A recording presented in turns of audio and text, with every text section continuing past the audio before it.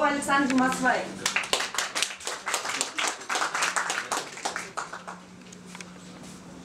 Снова, как раньше, легко и свободно белый заполнится лист. Просто ко мне в один вечер холодный вдруг постучался артист.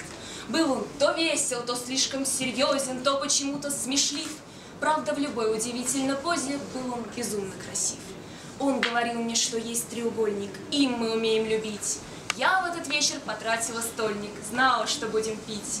Губы его прикасались к колени, я забывала слова. Больше не будет таких совпадений, я отвечала «да».